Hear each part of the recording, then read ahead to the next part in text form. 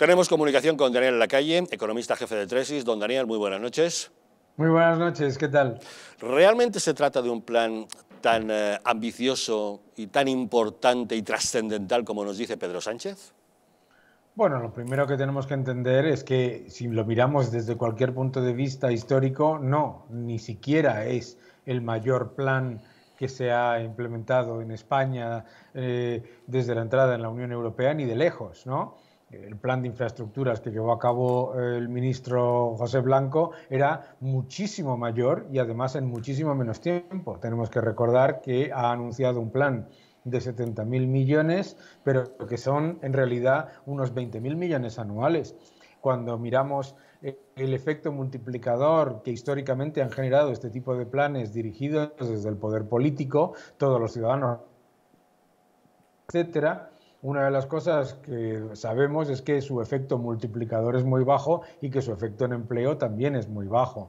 Pero desde luego, eh, cuando vamos a, los detalles, vemos que hay una gran parte de ese plan que se va a gasto corriente eh, lo que ellos llaman eufemísticamente pues eh, modernización de la administración, que es básicamente lanzar todavía más dinero a las administraciones públicas, algo que debería venir en el presupuesto y esto es clave, es que muchas de las cosas que está anunciando deberían estar en el presupuesto, no en ese plan.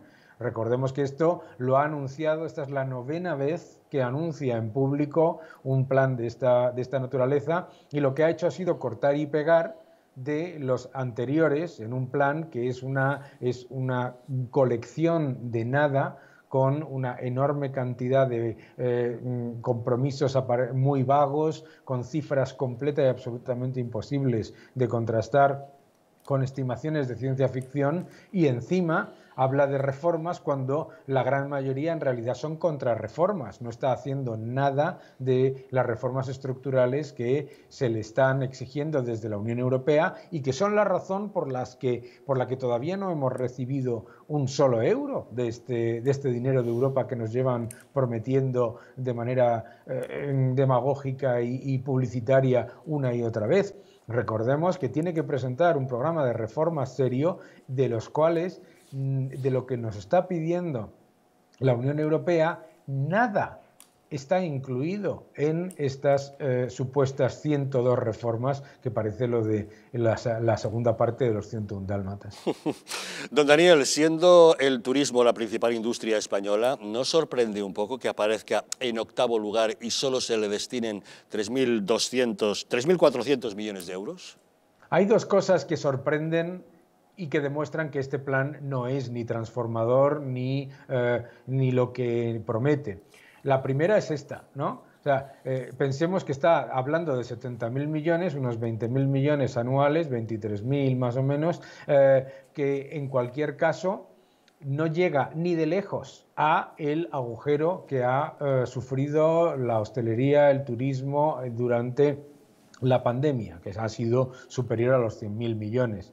Eh, entonces, lo que sorprende es que los sectores más afectados no reciben prácticamente ningún tipo de dinero de este plan y sin embargo los sectores que han podido sobrevivir no bien, sino admirablemente la pandemia, como son el sector eléctrico, el sector de telecomunicaciones, el sector de renovables, eh, son los, que, los más beneficiados. Es decir, los más beneficiados van a ser las grandes corporaciones que han podido llevar a cabo sus planes de inversión y mantener sus balances relativamente eh, sólidos en un entorno tan complejo como el del año pasado. Y por otro lado, empresas que, eh, por supuesto, ya estaban llevando a cabo todas esas cosas que está prometiendo el señor Sánchez. Es decir, es que está hablando de movilidad eléctrica, de renovables y todo eso, mientras tienes una evidencia de que el sector privado está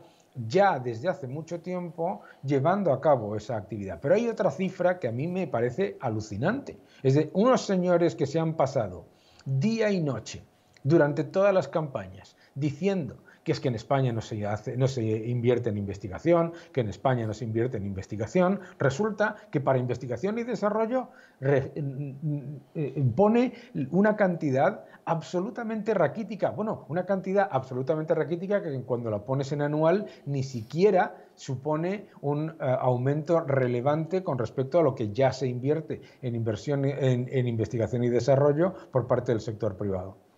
Pues veremos en qué se traduce finalmente esta llegada de fondos europeos, cuál será exactamente el reparto y quizá la próxima vez que lo presente Pedro Sánchez, que será ya la décima ocasión en que lo presente, nos ofrezca detalles más concretos. Don Daniel Lacalle, muchísimas gracias como siempre por acompañarnos en Los Intocables. Muchas gracias y buenas noches. Muy buenas noches.